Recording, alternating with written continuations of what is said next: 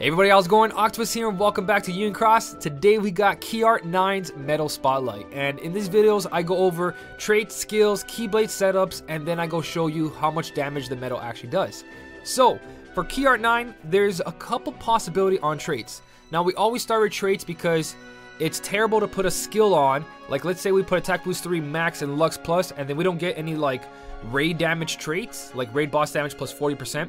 We kind of wasted a Lux Plus skill. Not really, it's still going to be good, but you really want to decide after you get traits. Like, let's say you get really, really bad traits, then you don't want to put a certain skill in there because it's not good for Coliseum, but it's only good for this quest. So always decide your skills after your traits. So for this medal traits, I really, really want to see a couple things. Now, there's two or three approaches you can take with KR9.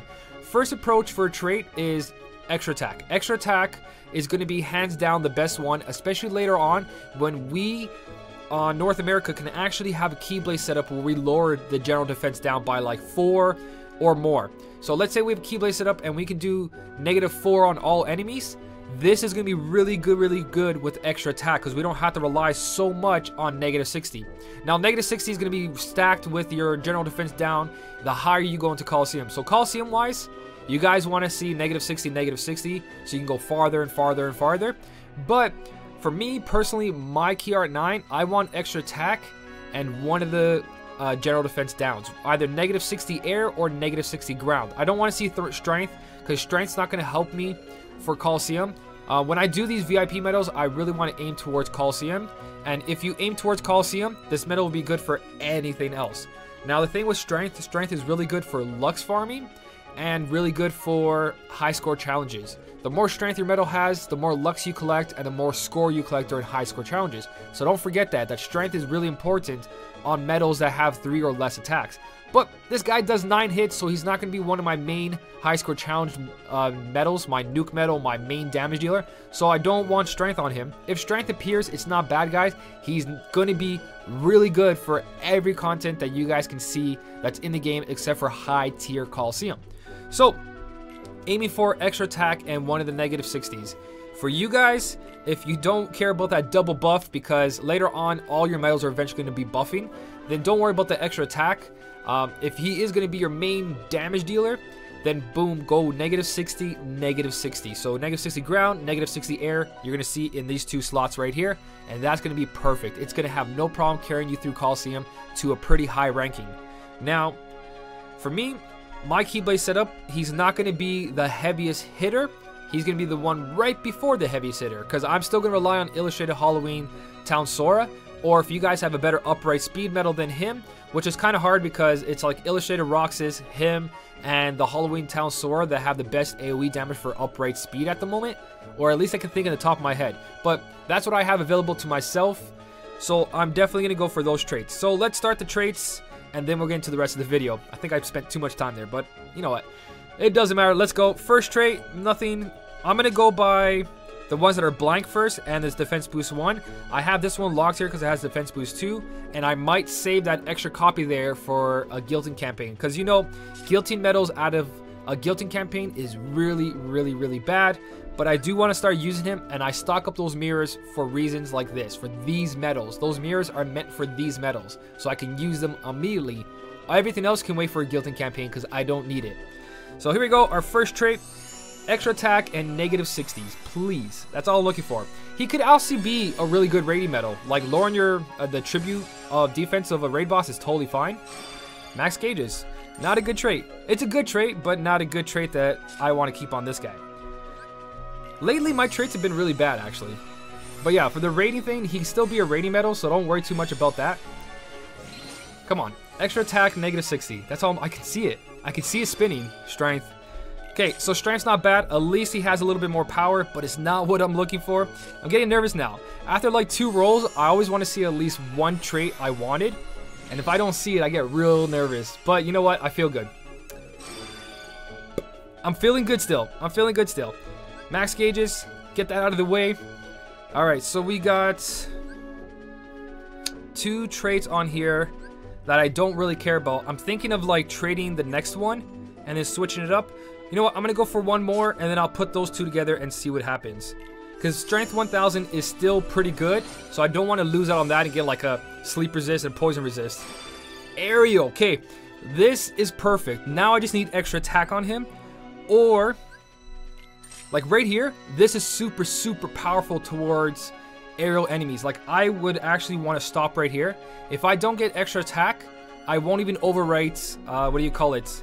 I won't overwrite that strength 1000. If I get like, okay, we'll see. We'll see what happens. I'm, I'm going over myself here. But that is a perfect AoE aerial medal. Like any aerial enemies I'm going to face in high tier, this guy's going to beat the shit out of them. So let's see if we get extra attacks. That's the only thing I'm going to overwrite with. Oh, oh. I could make him a raiding medal, but I don't want a raiding medal. I want a Coliseum medal. I know a lot of you are like, oh my god, but I want a Coliseum medal. I'm having fun in Coliseum. So this is for the guilt and for my final last trait. Like right now, this is perfect. I'm happy. The only way I could be happier is having extra attack. That's the only way. But this is really good because if you don't guys, if you guys don't know, uh, I don't want to override defense boost one onto my defense boost two. All right, let me just make sure I'm doing the right thing before I continue talking. But if you don't know, my Illustrated Halloween Sora has negative 60 ground, and it's an upright speed. So now I have a ground medal. 102. I'm good with that, guys. I'm good with that. Anything over 100 is really good, because it can actually be lower than 100. I think so anyways, for tier 5s. I think it's 80 to 150, I'm pretty sure. Yeah, I'm pretty sure it's 80 to 150, or I could be wrong. But anyways, 102%, I'm not complaining, and I got one more reroll for later on. Max gauges, I don't have to make any tough decisions. Skip button, perfect. Okay, so, like I said before, my Illustrated Halloween Sora has negative 60 ground and plus 1000 strength. So now I have a air medal and a ground medal, and this is a very, very good situation I want to be in. Now, I know a lot of you guys, you'd rather go for that negative 60 on both of them, or that extra attack. I'm totally fine to get extra attack. I'm going to keep a separate copy here if I ever need that negative down too, but I won't. And later on, again, I'm to have another best, uh, another chance at another trait and a better guilt. So I'm to leave him at 102% for now. Uh, I really want to wait for that guilting campaign, to tell you the truth, guys. But if I wait for that guilting campaign, I'm most likely to put mirrors on him. You know what, guys? Before we continue the video, I'm to say screw it. And I give you guys my advice. My advice is... My advice is... Save that extra copy if you don't need to fuse it together. But I want to go for my full potential. I don't want any second, ge second guessing here. Because if I get extra attack here, then I'm definitely putting attack boost 3 in SP gauge. If I don't, then I'm going for the attack boost 4. So, this is what I'm going to do. And you guys are probably going to hate it, but you know what? It's fine. Here we go, guys. Make sure I'm recording. Don't do this for yourselves. Wait for that guilting campaign. Um, I'm just doing this because I know I'm going to use him right right now for the Coliseum. I'm going to try to make that top 1,000. So I got no problem doing this. So I went 8% up. That's okay to me. During a guilty campaign, that could happen too. If it stayed at 102, I would have felt a little bit bad, but I don't. So now if we get extra attack, I know what to put on this medal for a skill. Guys! I really want to keep a thousand strength. I really, really, really want to keep a thousand strength. Like, badly. I want to keep a thousand strength, guys. You saw my, you saw my illustrated Sora, my illustrated Halloween Sora. Oh, this is such a. I have a really good aerial medal at the moment, guys. It's really good. Alright, so I'm on Discord right now with my man Zach, and he's helping me out with this. So, Zach, thank you so much. You made my mind up. I'm to go with negative 60, negative 60. I'm to take his advice because I know he knows what he's talking about. So, thank you, Zach. Thank you so much. You're the best. Here we go. This is for you. Take away 1,000 strength, going negative 60, negative 60, because I know he plays high tier Coliseum. And there you go. This is for you, man. Thank you. So there you go. We'll continue the video now. Um, since I got a negative 60, negative 60, I definitely want to go for attack boost 4. So I'm going to do that. Let's go get that. Okay. So I know you guys are probably be like, what the hell are you doing? Just wait. You don't have to do it for the video. But I really, really, you know what? Because I don't have any... Like, let me sort this right now, guys. I don't have any... I still need to stock up for you guys. I really do because I don't have any attack boost 4s on me. All my attack boost 4s are being occupied So I really got to go buy some. So because I was sponsored these jewels, I'm just looking for if I have a normal attack boost 3. If I have a normal attack boost 3, then I won't do this. But I don't have normal attack boost 3s. So I'm definitely going to go into the shop. So you guys going to see a little bit of pull here. I do not recommend this for anybody else, but because I was sponsored these jewels, I do want to do this properly. So we're going to pull for attack boost 4 right now. And I know a lot of you guys are th thinking like, that's crazy. But attack boost 4 gives me the most damage output, and I want to get to Coliseum as high as possible. So I'm going for this attack boost 4. So you guys get a free pull out of this. So don't worry. Um, again, I'm at a point in my count where I can make these stupid decisions and not wait ahead of time. Because definitely another avatar board will come out. It's my fault that I didn't wait. Hey, I got one of these. The Flotsam and Jetsam. I really wanted one of these for the Dark Side quest for the Fantasia Mickey B, just so I could show you guys. But, yep, there we go, and I got myself an Attack Boost 4. I'm going to slap that on my Key Art 9, and I feel like that's the best decision because I am making this guy for Coliseum. For everybody else, if you don't have Illustrated Kairi 2, just go for the attack boost 3 max and SP gauge. It will help you tremendously. He debuffs and he's a heavy hitter. But if you want to go my route of doing Coliseum and you get those negative 60s on there or just one negative 60, attack boost 4 guys. Attack boost 4 all the way. Alright, so where's my medal? Let me just go. I'm in medals already. I don't know why I did that. Let me just go back to... There we go. So we're going to put attack boost 4 on here. We're going to go to some high level enemy and we're going to test this out. Hopefully, hopefully it works out like I was thinking. So where's my new attack boost 4? Attack boost 4 right here. Slap this on and for me, yes, override it. Boom. For me, this this works perfectly. Like, I really, really think that you should have the most damage possible for Coliseum. So, SP gauge is not a problem for me. Let's go into Keyblade setup now and make a Keyblade setup. Then I'm going to go try this into the highest level enemy I can find. I can literally touch anything right now because it's negative 60, negative 60. So, a Keyblade setups, basically, you're looking at Sleeping Lion. You guys can switch it up. Like I said before, for my Sleeping Lion, I'm going to have it looking like something like this. Let me just take that out, put that there, and then throw down my new Key Art 9 right over here. So I'm going to do something like this because of he debuffs and then this guy's gonna get some more damage on him if I'm facing ground. If I'm facing air, then I'll switch it up and put him there for the air enemies in Coliseum, or I might think of something totally different, but I really do want to be able to like buff other medals too, not just himself. So like worst case scenario, if I get a really good upright, another good upright speed medal, I'll put him here just because he does the buff and these two guys will have heavy hits. But I am looking at that. As you can see, Illustrated Halloween Sora has a 3.65 multiplier, while he has a 3.59. So my Illustrated Halloween Sora is going to do a little bit more damage. Um, their attacks are the same, just by off by 7 strength, it's not a lot. But this guy's going to do heavy, heavy damage to ground enemies, where he's going to do heavy damage to both of them. So it depends which situation I'm in. I'll probably switch those two around. But you guys can do that. For this video, I'm going to put him on the last slot and pure buffs to show you a lot of damage. And other choices is Olympia. You guys can put them here or here. If you have, like I have, the two medals, um, 9 here, best multiplier, and then your Illustrated Halloween Sora or whatever you guys have will get a buff or the debuff on the enemy's defense and do more damage as well. So there's a lot of choices. You got Lady Luck, he can sit over here if you really want to or be a strong hit off the bat. It's not really recommended because you do want some buffs with him. So Lady Luck is a very awkward Keyblade. It's only 1.9 and that's really going to hinder you. So it's not good for Coliseum, but it might be good for some quest. And then also right here, where this Sora is sitting, you guys would put down... Oh wait, I already did this. So you guys would do this either way you want. Again, you can put him in this this slot, but again, he's going to do damage here, and then he'll have a buff for this guy here, so your other next upright medal will do a lot of damage. It's all situational, but there's tons of Keyblades for them. Tons of Keyblades. Sleeping Lion is absolutely the best one because of the last slot, and later on, as you level up, you guys can see here, uh, okay, it's not going to show me the next one, but as I level up, this second slot will get more of a multiplier as well, so it's going to turn out great. I actually might max out my Sleeping Lion first, out of everything. I don't know yet. My upright collection is looking really, really good. But that's the Keyblade setups. You guys want to be able to do a full buff rotation and make him the heaviest hitter.